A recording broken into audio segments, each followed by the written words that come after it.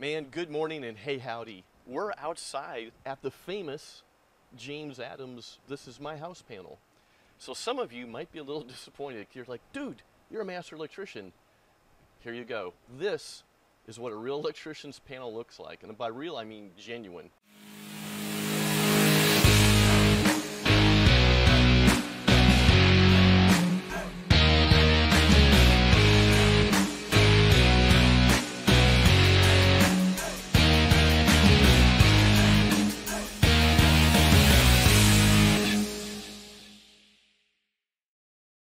So come on in, let me, let me introduce you to my panel. So this is a Square D QO. We've got solar installed. Uh, we have an old surge protector that we're we're going to replace this morning. This is a Eaton Ultra, and we're going to replace this with the first uh, the, uh, Siemens. But here's what I wanted you to see, Paul. If you look at this, look at this. Here's my stainless steel uh, landscape lighting transformer, and guess what? It's got bird poop and mud on it. There you go.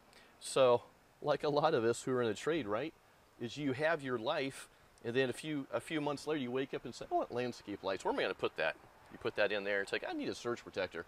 Where am I going to put that?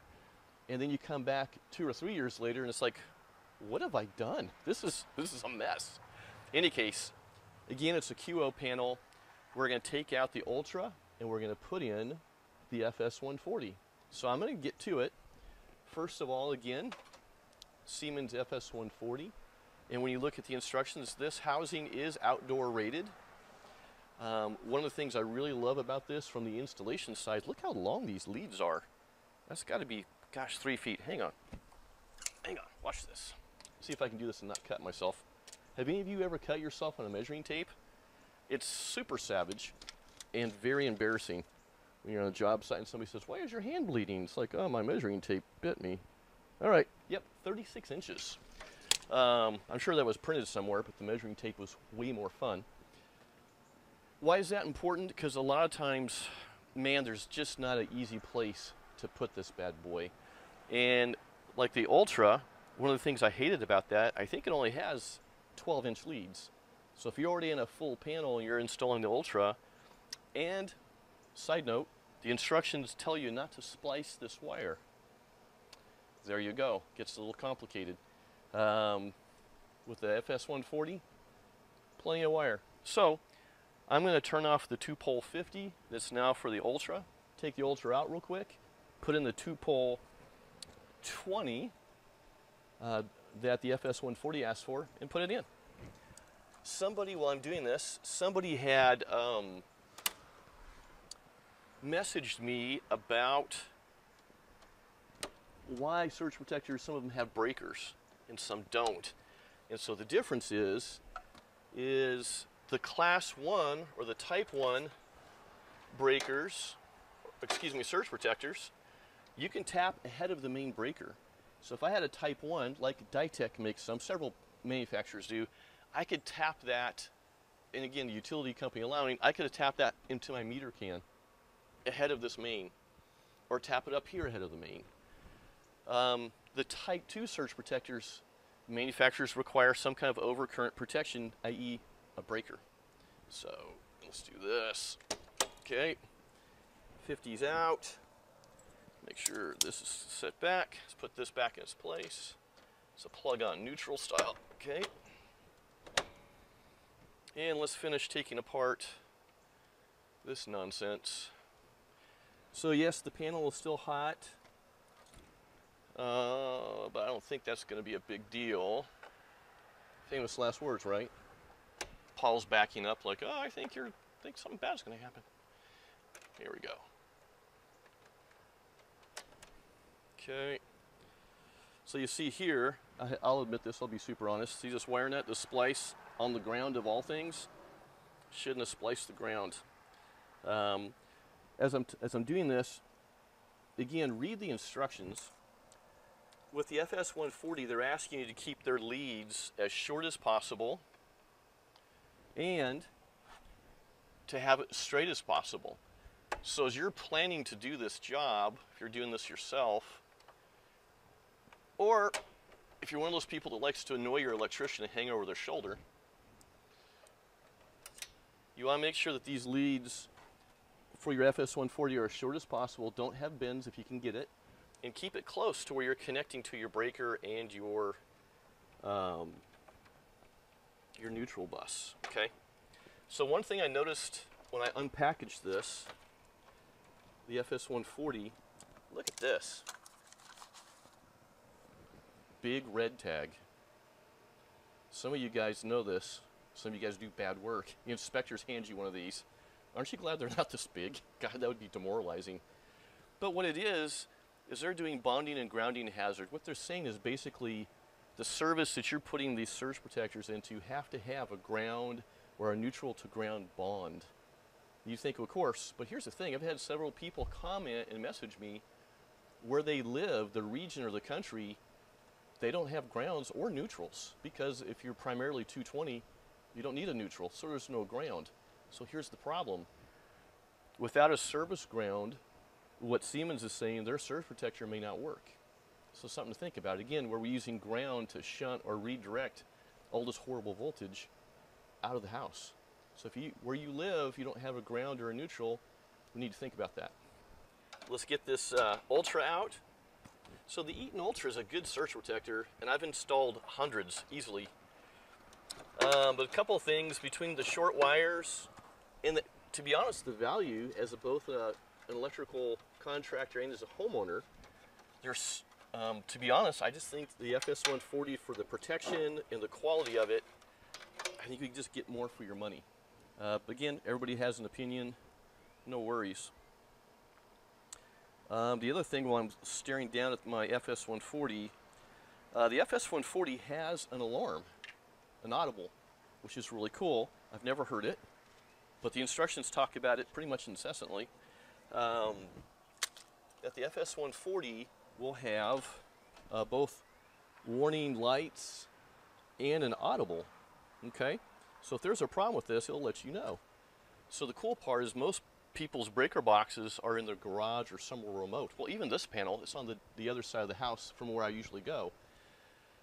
So unless I walk back here pretty routinely to look at the, the indicator lights, I don't know if there's anything wrong. So the audible is a cool feature. Um, there you go. So we need to open a couple of things. Again, this is outdoor rated.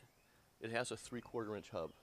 Okay, so what I have to do is I'm going to find, pop out a three quarter inch KO on the panel. It's going to get a little noisy for a second and get this set up. Today I'm using uh, non-metallic Liquatite. Some people, wherever you live, we call it uh, or Carlon. Um, but yeah, it's non-metallic. It's rated for outdoors. Protects wires. Be fantastic. So let's find a three quarter here that's handy for us. There we go. Let's keep clear of the hot parts. We finally have our three quarter inch hole in the bottom of the panel. I'm going to put this three quarter inch connector in here. Again, it's outdoor rated. Love these things. Got a little O-ring slash gasket there. Um,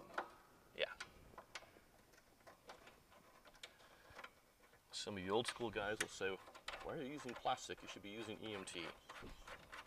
I, I disagree. Not for something like this. All right, so let's plan out where we want to mount this. Okay, now, so we don't want to put, I was at first tempted to put a loop on this, like almost like a drip loop. And I've got plenty of wire, but after looking at their instructions that say to avoid bends, I am going to do is flip this.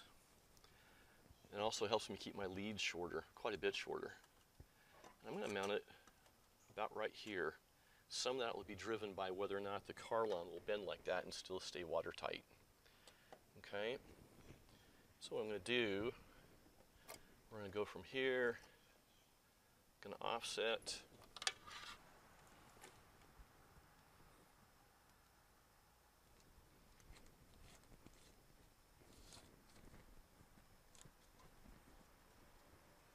we screw into the hub, if you're using an outdoor rated, just look at these threads. So it's interesting, these threads are not tapered. And a lot of outdoor hubs are tapered. So it's not a problem until you go to screw in a non-tapered connector into a uh, tapered hub and it won't seat. Which for you guys with inspectors running around, that's a red tag because it's not installed correctly. All right. So we're seated. I've got the gasket engaged but not crushed. Okay.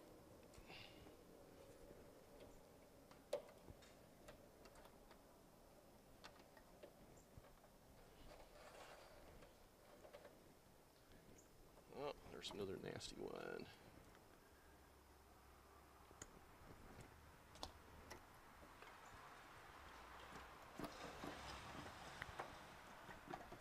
So while I'm doing this, a shout out uh, to Lionel, Chris, and Joshua, guys who uh, were able to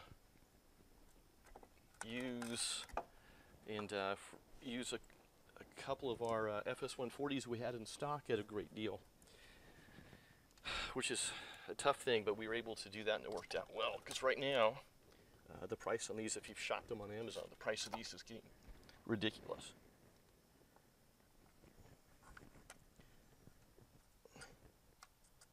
Okay, so we're going to land the ground and the neutral. We have this bus. Um, yeah, and wire strippers and needle nose. I use needle nose because I don't always like sticking my fingers into the live busing area. Go. And that's our terminal right there. Let's strip that. See if we can do it without nicking the crap out of the uh, the strands. I don't think I lost too many there. Should be okay. And going into the bus. Oh, already had a strand pull out. So I'm just twisting it because if you don't twist, you're going to end up losing strands. Hang on, let's open this up. So what's happening is, is I'm pushing the wire into the neutral bus. Some of the strands are pushing back. So, uno mas. I didn't trim this one. I think the length is, is good. I don't think there's excess there that's going to be problematic. Neutral, same path, similar. Let's go up.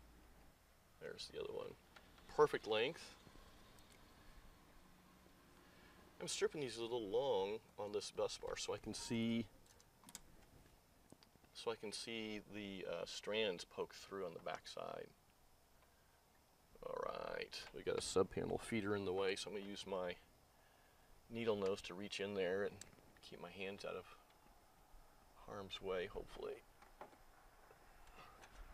So on some of these, when you reach around, you can pre-bend your wire to get around some obstacles so you're not having to try to undo a bunch of neutral wires. So here we go.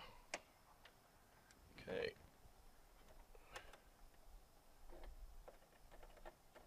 So let's spread these neutrals a little bit. Neutral port ahoy right there. Without having to thread it through a jungle of solid number 12s. Here we go. Crikey meat. There we go. We're through. No loose strands. Hang on. Okay. Yes. The other side of this is you can and probably should torque these. Not going to. Okay. Again, based off the instructions, we're going to do these a little short or not have excess. Keep the bends to a minimum. So now we're going under the breaker lugs, so these don't need to be as long. Use my fingers to help set my depth there on how far down I am. Okay, here we go. Let's make sure this is backed out. So the QO has a square washer under the lug. So note to self, the reason they do that is so the QO is one of the few breakers, if not the only one, that you can put two wires under the terminal. You can use, if you look, you'll see that the square washer has space for two conductors under it. So you could legally double lug this breaker. Not sure why you would do that, but you could.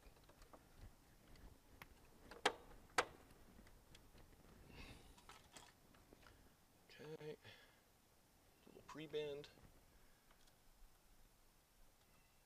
And here we go.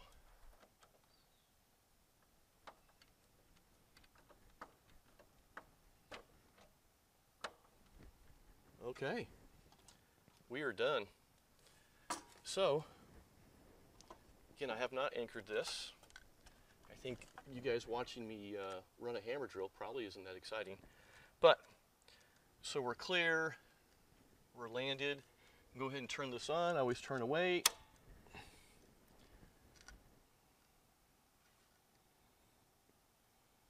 There you go. That's all the excitement we're going to get out of this bad boy. All right, so the only other thing I wanted to mention in passing, and let me know if you want to see this, is doing this with the flush mount kit.